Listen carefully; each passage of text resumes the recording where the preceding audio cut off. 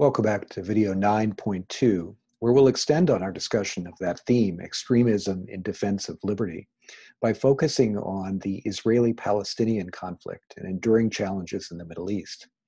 This section is designed to provide an overview and some historical background for you of that conflict as a setup, as foundation for your viewing of the feature film Paradise Now on your own after this video lecture. So I'm going to click over to again to our PowerPoint presentation.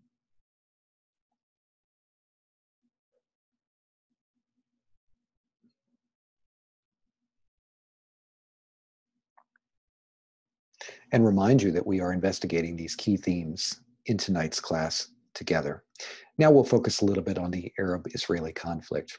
This is a very timely subject, it's a very important topic, and it certainly provides an example of the challenges of extremism and views in a complex conflictual setting.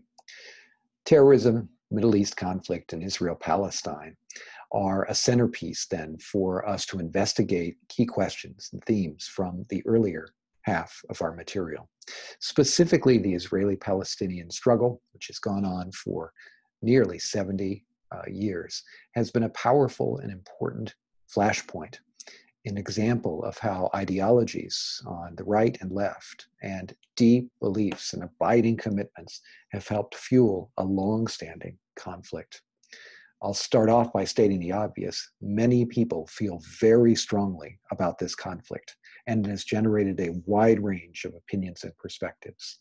Easy examples of some of those contrasting perspectives come from Israeli Prime Minister Benjamin Netanyahu. He is an arch conservative leader of Israel who, uh, up until very recently, was a very powerful voice in shaping Israeli politics and foreign policy. Netanyahu repeatedly challenged the Palestinians and their claims on territories and legitimacy and participation in the Israeli political process, versus the views of Palestinian leaders, including people like Mahmoud Abbas, the president of Palestine, who has argued for the creation of a Palestinian state and for the legitimacy of the Palestinian cause. You can find many filmic examples of these strong views by searching YouTube. For example, a Netanyahu speech, almost any Netanyahu speech, will capture the spirit of Israeli conservative ideology versus speeches and statements, excerpts, and interviews you can find video recorded with Mahmoud Abbas and other leaders of the Palestinian cause and interest. But you know, political scientists and historians have also tried to grapple with this complex challenges and offer up challenge and offer up their own perspectives one of those that I found really interesting and you know that kind of pushes us to think critically about this question comes from political scientist John Stoessinger, who in 2014 wrote historical tragedies do not arise from encounters in which the right classes clashes with wrong. Rather, they occur when the right clashes with right. Stoessinger and others help us to recognize that this is a multidimensional and complex challenge, and that political scientists have been interested in investigating it for some time. There's so many filmic examples, as I mentioned a few minutes ago, that give us perspective on this challenge. But one of the very powerful feature films that I've seen in recent years uh, is Steven Spielberg's Munich. That 2006 feature film is a wonderful, powerful, critical investigation of contesting idea, contested ideologies and deep questions about extremism in defense of liberty, by the way, on both sides and in great depth. This is dealt with very well in Munich. You could find film clips available on YouTube, or perhaps this would be a feature film that you would find very powerful and engaging. It pushes us to think critically about questions of extremism in defense of liberty. What I want to do over the next couple of minutes then is provide you a little bit of historical context and background information associated with the Israeli Palestinian conflict. I'll jokingly say that I'm going to try to provide an overview for you of this conflict in eight or 10 minutes only, which is a joke because this is such a deep and abiding, important, complex, and multidimensional challenge about which many books have been written, about which many political careers have been made, about which entire classes are taught at the College of Wooster. But I do want to provide just a bit of historical setup for you, a bit of context, help us understand what we're dealing with in this conflict and challenge.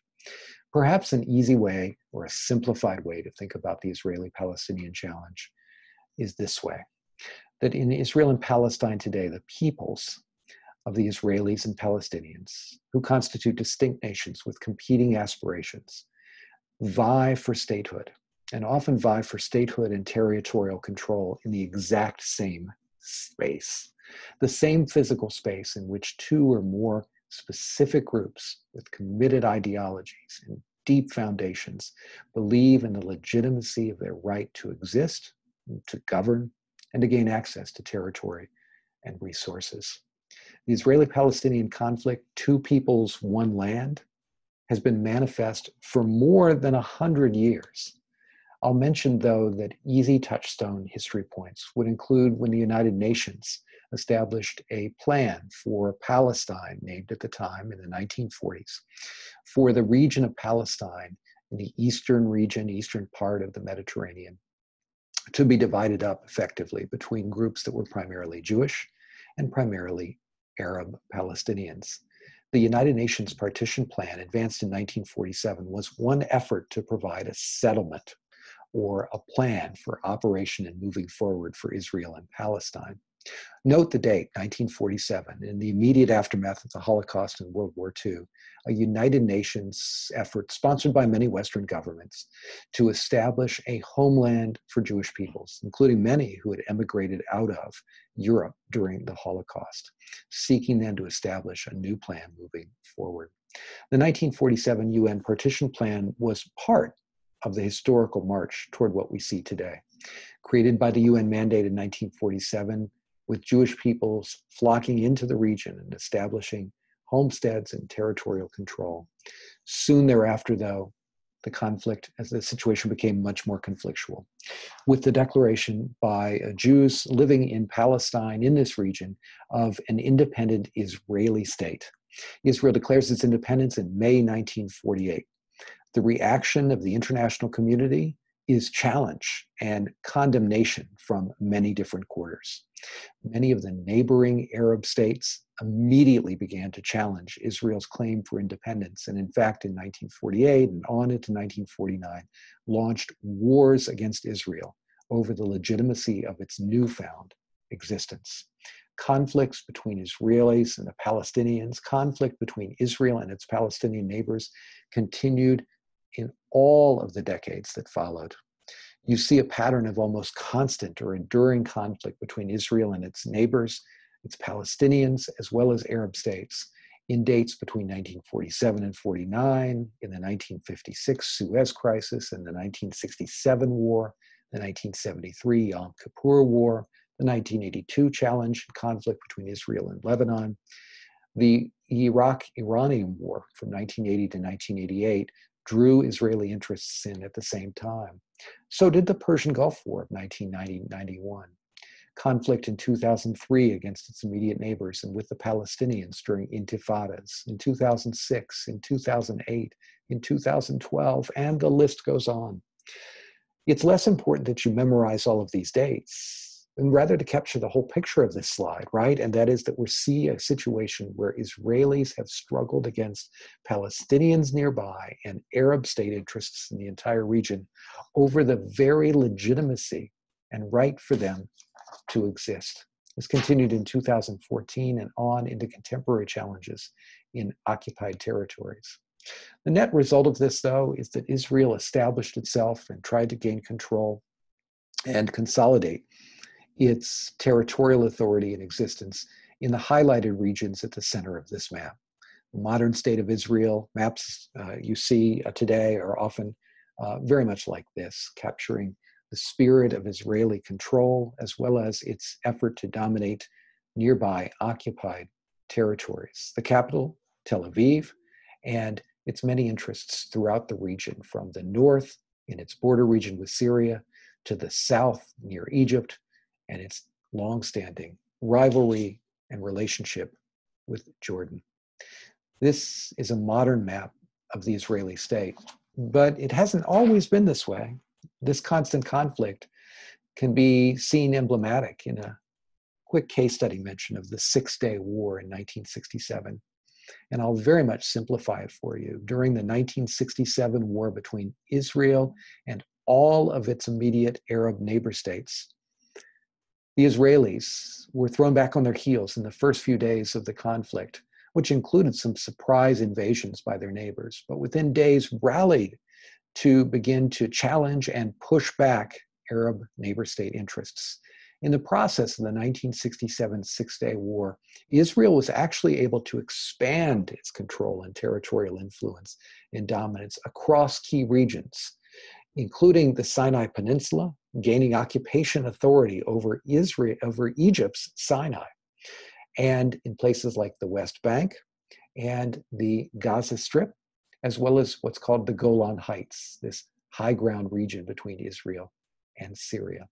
I mentioned the 1967 war because it was also formative in shaping what we understand today to be the modern Israeli occupation of contested regions, including, most significantly, the West Bank, the West Bank of the Jordan River, and the Gaza Strip, this strip of land, this very small space of territory that neighbors on Egypt. Palestinians in Israel primarily live in high concentrations in the West Bank and the Gaza Strip today. The Palestinians in these regions face continued occupation and challenges from Israeli authorities. This is a difficult situation, a difficult situation that has generated a great deal of friction and resentment, that has sparked uprising and extremist violence by the Palestinians in several cases, including the historic intifadas and it remains a boiling point for challenge between Israeli and Palestinian interests. Much of the world has watched and been very concerned about this conflict and challenge for a long time. The United Nations has been critical of Israeli actions in the occupation of these areas, as well as their treatment of Palestinians and human rights concerns. Meanwhile, Arab and Palestinian interests have spoken up, spoken out, raised challenges, including diplomatic and rhetorical challenges, framing the Israeli occupation as apartheid, framing it as discriminatory, and offering challenges in diplomatic venues in the region and around the world, including at the United Nations. Meanwhile, Palestinian groups themselves have taken upon uh, them have taken upon themselves the idea of challenging the legitimacy of Israeli occupation we have to acknowledge the millions of Palestinians and Arabs in the region who have challenged the legitimacy of Israel for decades, and in some cases, used extremist violence in the pursuit of liberty. Now turn to a setup for a feature film for this evening. Paradise Now is a feature film that was released in 2005, directed by Hany Abu Assad, filmed in Arabic with English subtitles. It was actually filmed on location, covering the lives, fictional but fairly representative lives, of Palestinians, young men frustrated by the ongoing occupation situation, the challenges by the Israeli authorities. This film in 2005 was very powerful when it was released and drew a fairly broad audience. It was nominated for the Best Foreign Language Film Academy Award that year. It did not win, but it was nominated as a very powerful and engaging chance to investigate these things. But I cannot leave you to watch this feature film without strong content warnings, as I usually try to offer. This film is effectively focused on a couple of young men who grow increasingly frustrated by the situation of Israeli occupation and decide to carry out acts of extremist violence. This film gets to the heart of the questions and themes for tonight's class extremism in defense of liberty? Is it ever acceptable? Is it ever legitimate? This then focuses on the plight of these young men and their decisions that follow, but it also wrestles with critical issues about the legitimacy of the use of force. Content warning. This film includes graphic images of violence and profanity. This film is heavy, it's powerful, and it addresses very controversial subjects. I want you to know very much outright that this is not a film assignment designed to legitimize or justify extremist violence. that I selected this film for this class very carefully and in consultation with a number of College of Wooster officials, including Rabbi Joan Friedman. We believe this film offers a critical and careful investigation of these themes, but it should be viewed with caution and deliberation. I'll now ask you to follow the syllabus guidelines and plan to view the feature film Paradise Now in its entirety. The themes in the film are testable material and they, come, uh, they complement very well what we've done in our video lecture setups. I want to thank you for all your attention in reviewing these two lectures, video lecture 9.1 and 9.2. And I wish you the best in viewing this film. As always, when in doubt, when questions arise, or when you'd like to react to things you've seen, please feel free to reach out to me by email and or by video chat. Be happy to discuss this further. Thanks for your attention. Good luck.